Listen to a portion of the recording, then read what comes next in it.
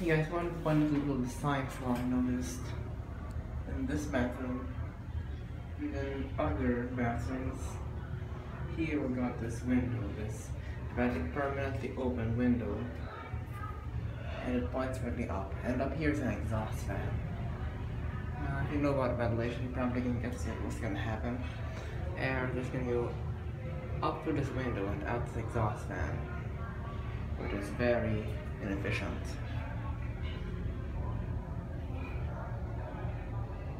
Not sure where, this window even leads, but yeah, it's actually very inefficient.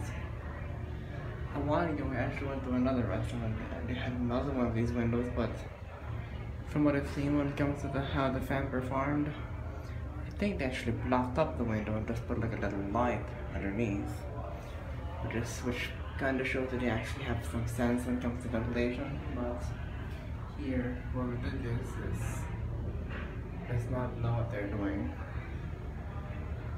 What's, supposed to happen is that this is supposed to be blocked off and they're supposed to come in through the door through a hypothetical vent in the door and cross from this side of the bathroom to here.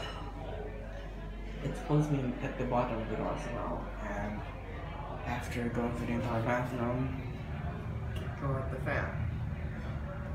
But this is not not the one here. It is put like window here, and now much of the air going to this fan, most of the air going to this fan is air straight from this window.